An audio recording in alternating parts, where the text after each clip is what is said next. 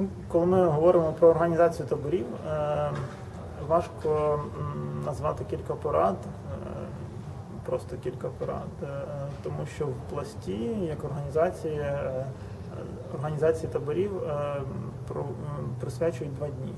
Тобто тренінг по проведенню табору, як неметового, так і стаціонарного, він мінімум два дні має проводитись для тих, хто вже в темі, скажімо так. А для зовсім новеньких людей це мало би бути ще, ще кілька тренінгів.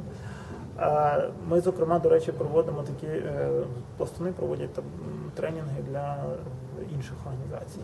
Цього року от один тренінг такий проводився. Напевно, вже не буде для літніх наметових таборів, але наступного року будемо проводити. Але якщо кілька порад говорити, то важливо сказати про команду, про тих, хто організовує табір. Незалежно чи це для дітей, чи це для дорослих табір. Але, наприклад, людина, яка займається програмою табору змістовим наповненням, це має бути окрема людина, і вона не має займатися технічними адмініструванням табору і якимись поточними справами. Е, Для цього має бути окрема людина, інша, і не варто економити, скажімо так, на таких людських ресурсах і поєднувати це, навіть яка би не була крута лю- сама особистість, і що вона може організувати все разом, ну варто це розділяти. Також е, в пласті, наприклад, є окрема людина, яка тримає програму табору е, по часу, слідкує за е, учасниками, дивиться, щоб все було вчасно, і це має бути ще третя людина в команді табору. Пласт називається бунчужник та- табору, але для інших організацій може по- по-різному називатися. Тобто ці три людини, тобто той, хто відповідає за програму, той, хто відповідає за справи адміністрування табору, і третій, той, хто відповідає за час, це е, ну, мінімальна основа табору.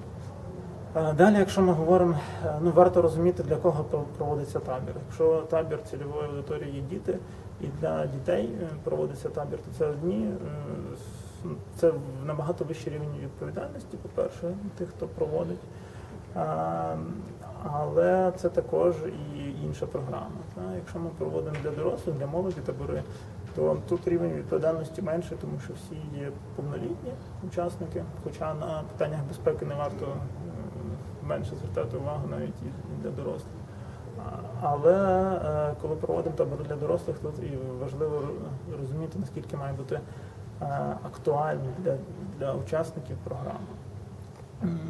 Тому що зараз досить багато різноманітних е, заходів відбувається таборів, і, скажімо так, молодь має вибір, куди поїхати.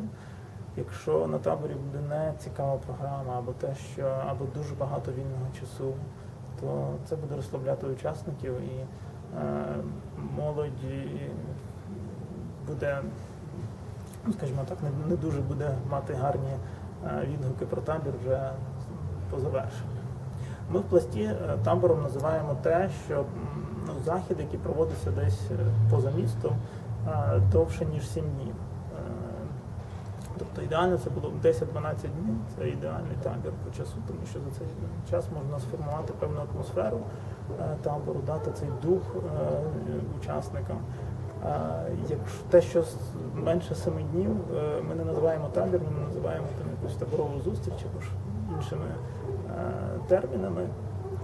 Саме через те, що важко за такий короткий час передати якийсь дух.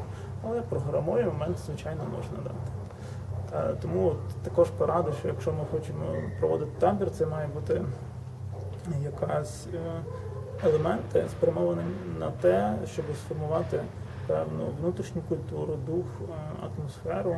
І це не можна сформувати за два дні. Тобто треба більше днів і поза містом це виходить краще.